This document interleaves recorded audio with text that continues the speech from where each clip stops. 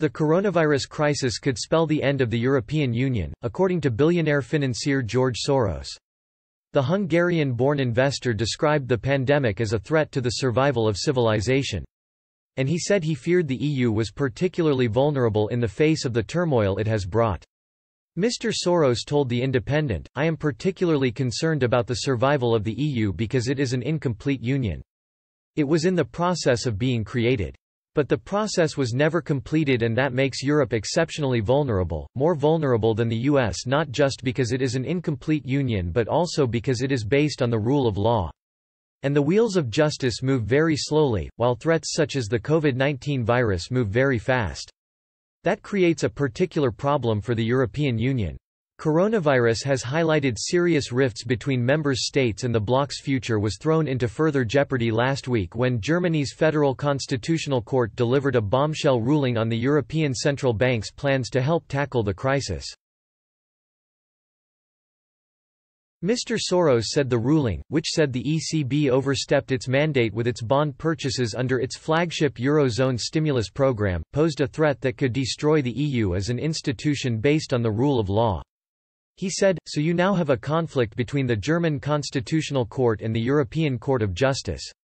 Which court has precedence? He continued, if the German court can question the decisions of the European Court of Justice, can other countries follow its example? Can Hungary and Poland decide whether they follow European law or their own courts, whose legitimacy the EU has questioned?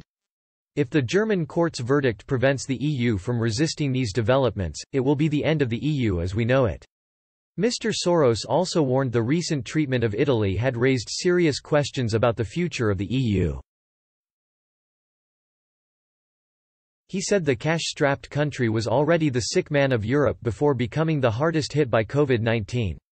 He said, Lega party leader Matteo Salvini is agitating for Italy to leave the euro and also the European Union. Fortunately, his personal popularity has declined since he left the government, but his advocacy is gaining followers. This is another existential threat for the EU. What would be left of Europe without Italy, which used to be the most pro-European country? Italians trusted Europe more than their own governments but they were badly treated during the refugee crisis of 2015. That's when they turned to Salvini's far-right Lega and the populist Five Star Movement.